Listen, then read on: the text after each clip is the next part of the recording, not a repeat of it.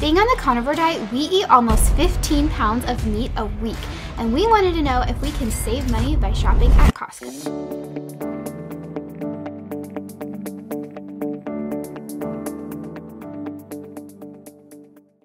Hey y'all, welcome back to our channel. We're the Carnivore Couple. I'm Pat. And I'm Caitlynn. And welcome to our new little setup we got going on. Basically, it's not next to the baby's room because I woke him up the last time we filmed. Yeah. He was not happy. Being carnivore and Caitlynn ketovore, mm-hmm. we eat a lot of meat. yeah. So normally we would shop at Walmart because it's cheaper, but the quality of meat is not so great. There was this one time we had just finished eating a steak from Walmart, and then the night of, we were both puking our mm-hmm. guts out. It was terrible. so we decided that we were going to look into shopping at Costco. And if you don't know, Costco is just a bulk food store and they have lots of other stuff. And we thought it might be cheaper to buy meat there, but the membership is $60 a year. So we thought we would go into Costco, check it out for our first time to see if it's worth it. All right, Pat, any thoughts before we're no longer Costco virgins? uh, no, just excited to check it out, see what the hype is about. I've never been here before, so I'm gonna see what the all what, what the buzz is about. All right, let's go get it. All right. So yeah, we've never been here before. We're just trying to find bacon and eggs. So this is new. Oh look, we have Cameron's coffee, our favorite. Are a lot of people here? Have we just been missing out the whole time? I don't know. we have finally found the bacon, y'all. Finally found it. That was like Chick-fil-A checkout. It was super fast. It was crazy.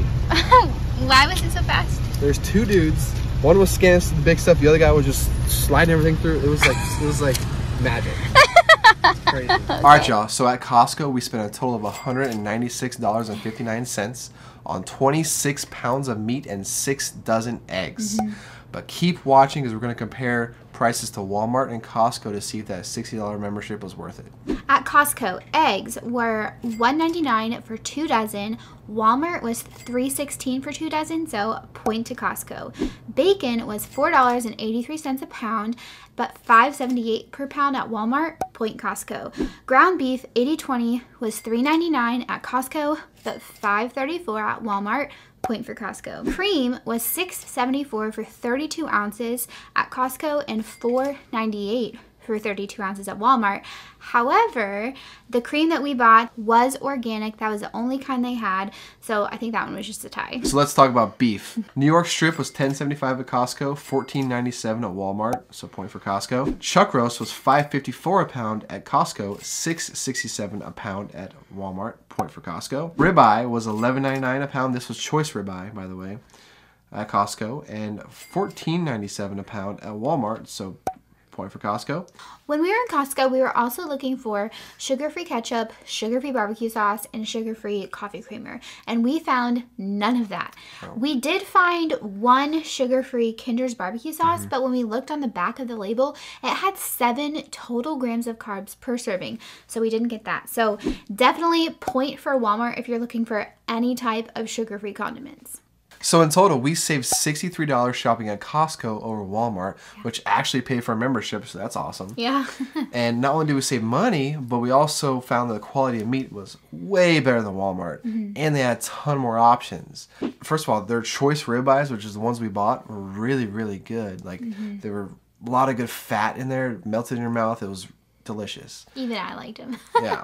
they had, I mean, every kind of cut of meat you could think of. At our normal grocery store, Walmart, sometimes we would go to Hy-Vee, which is kind of a regional store. Mm-hmm. They'd only have a few cuts of meat. Yeah. At Costco, they had ribeyes, sirloins, they had New York strip. I mean, you name it. They Pork had they, they loins had for pork loins, a $1.99 a huge, pound. huge thing of pork loin. Yeah. Yeah, for $1.99 It a pound. awesome. I mean, you name it, they had it. Mm-hmm. And it wasn't almost going out of stock because lots of time we mm-hmm. would go to our local grocery store, our Walmart, and they would almost be out of steak. And when you're trying to buy, you know, four, five, six steaks, like mm-hmm. you really need them to have them in stock. Yeah, and we were on we were there on a Saturday afternoon, and it was pretty packed. There was a lot of people there, but they still had a ton of meat available to buy. Mm-hmm. So, I really prefer Costco over Walmart. We did want to say though that even though you save money buying at Costco, you do have to buy in bulk. Mm-hmm. So we bought a chuck roast, but we had to buy seven pounds of chuck roast, which is fine because we're going to eventually eat it. But then we took that home and then we divided it into, you know, three servings so that we have three different roasts in our freezer. So just keep that in mind that you are going to need freezer space to be able to divide your ground beef, your chuck roast, your different meats up so that you can take advantage of buying in bulk and the savings that come with that. So if you're on the carnivore diet, you may want to consider buying a bulk to save money. And if you've enjoyed this video, make sure you hit that subscribe button. We really appreciate it. It helps us out a lot.